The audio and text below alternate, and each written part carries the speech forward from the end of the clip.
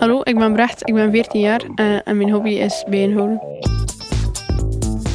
Eh, omdat mijn papa daarmee bezig was eh, en omdat ik dat wel leuk vond om mee te doen.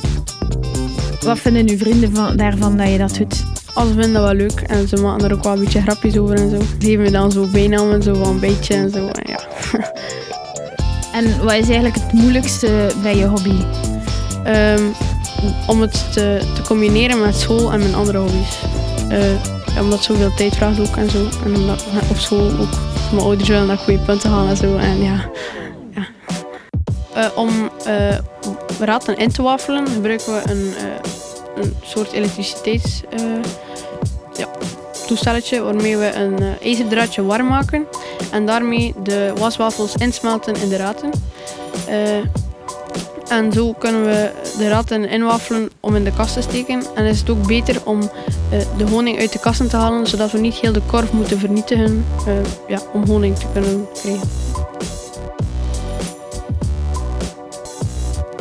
Dus we hebben eerst eh, de honing, dus getoond waar dat zat. Dan hebben we de koningin gezocht met het rode stipje. En dan we ook een beetje broed getoond, dus die de bijen dus allemaal mooi dicht doen dat er nieuwe bijen uitkomen.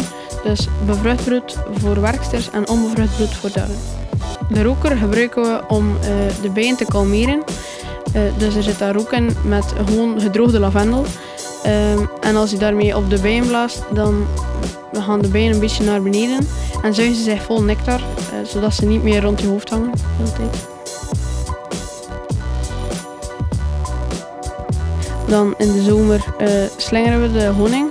Eh, dus je hebt een motortje met een soort stang eraan, eh, met allemaal kooitjes waar je de raten kunt insteken. En dat begint rond te draaien en door de middelpunt vliegende kracht vliegt de honing tegen de zijkant van de ton en druipt naar beneden. En zo kun je het verzamelen.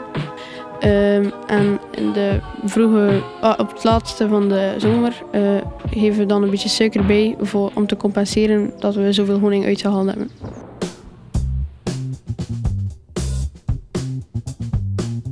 Het is belangrijk dat de bijen de planten bestuiven, want zonder bijen zou deze wereld eh, niet zo goed meer draaien en zo. Want we zouden geen fruit hebben, we zouden niet zoveel groenten meer hebben. eh, ja. Het is niet echt alleen belangrijk voor de honing, maar ook voor de bestuiving. Als je in de tuin een vergeten hoekje hebt, kun je bloemenzaad eh, kopen eh, en dat inzaaien met bloemenzaad, zodat de bijen ook meer bloemen hebben ja, voor, om zich voor te planten en zo. Ja. En eh, wat is eigenlijk het leukste moment voor u bij het bijenhouden?